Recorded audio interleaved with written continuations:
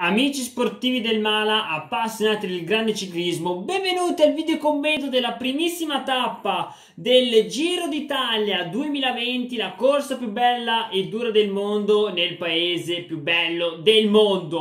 Oggi abbiamo veramente tantissimi temi da snocciolare in questa cronometro individuale di 15 km e 100 metri, però prima andiamo a scoprire che cosa hanno affrontato oggi i corridori. Una crono caratterizzata dai primi mille metri in salita verso la cattedrale di Monreale e i successivi 4 km in discesa dove si potevano toccare velocità di tipo 100 km orari, quindi capite bene la velocità di che stiamo parlando.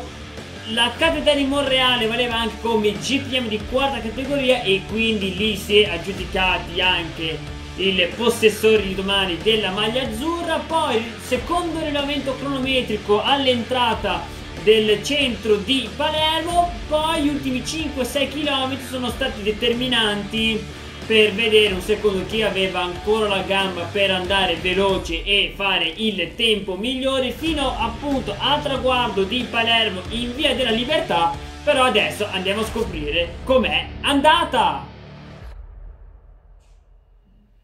Quindi quel chilometro in salita nelle primissime fasi della crono poteva riservare delle sorprese poi però dopo lo scollinamento alla cattedrale di Monreale e i successivi 4 km in discesa, eh, insomma poi c'era la, cioè la crono poi andava sotto l'aspetto altimetrico abbastanza in piano se non in leggera discesa. E quindi diciamo che gli specialisti eh, delle prove contro il tempo alla fine erano i favoriti principali della giornata di oggi e a vincere questa cronometro individuale anche contro il vento perché oggi il vento è stato nella prima parte della corsa un fattore fondamentale per eh, la crono di alcuni corridori. Però invece per Filippo Ganna, il campione del mondo della cronometro individuale settimana scorsa a Imola, il vento non è stato per niente un fattore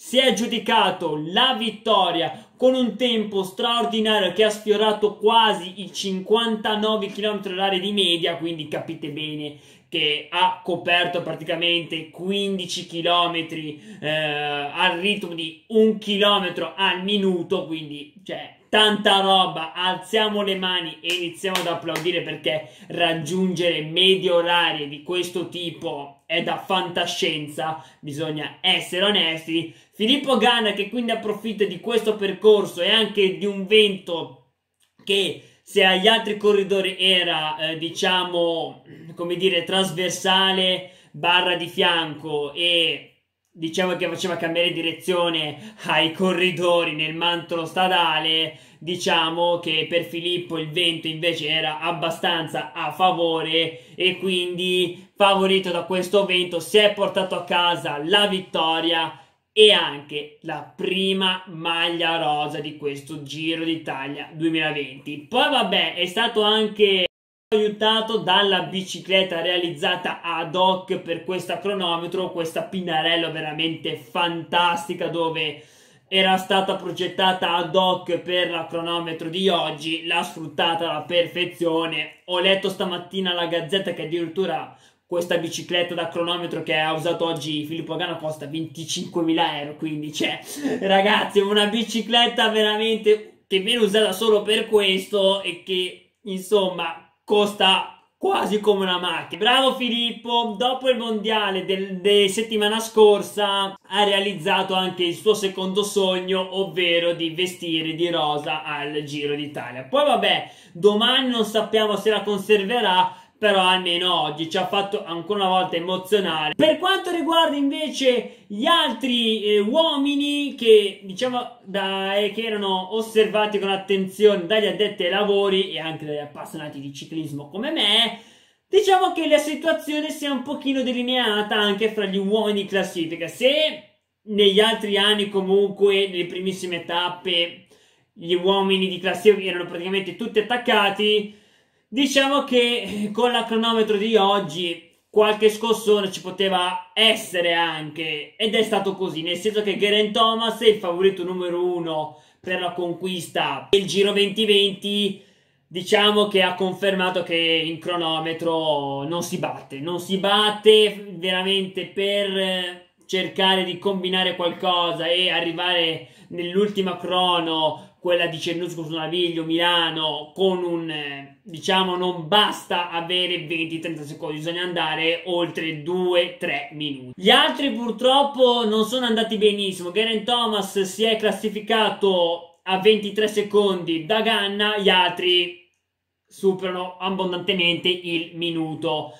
Vincenzo Nibali perde il minuto e 06 da Thomas, Kederman 1 minuto e 05, Krusvik 1,21, Fulsang 1,24. Però diciamo che la notizia negativa per Fulsang è che perde già un compagno di squadra fondamentale come Miguel Angel Lopez che poco prima del, del secondo rilevamento cronometrico purtroppo ha avuto la sfortuna di incontrare un tombino e di perdere il controllo della bici mentre stava impostando la curva, perso il controllo andando a sbattere contro le transenni in maniera abbastanza pesante e quindi è stato poi costretto al ritiro. Auguriamo veramente una pronta guarigione a Miguel Angel Lopez perché ne ha veramente bisogno questo corridore che è sempre colpito da una sfiga impressionante. Lasciando perdere questo discorso, gli altri uomini di classifica, alcuni si sono difesi, per esempio Vlasov si è difeso perdendo solo 57 secondi da Garen Thomas e diciamo il migliore dei non, dei non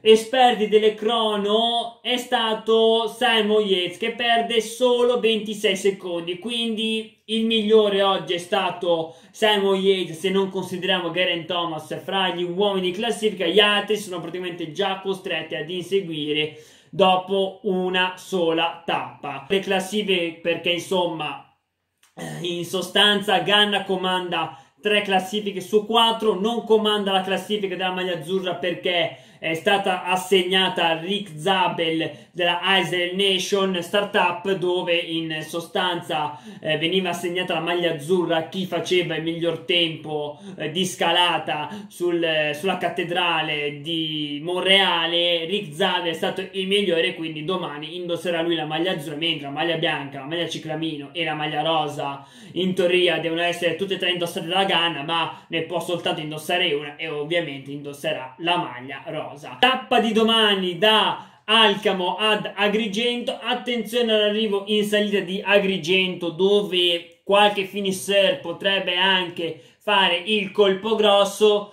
Vediamo se domani Filippo Ganna mantiene la leadership. Non ne sono convinto al 100%, però mai dire mai. È in uno status di forma Filippo straordinario. Magari domani potrebbe anche terminare la tappa ancora una volta con la maglia rosa in pugno.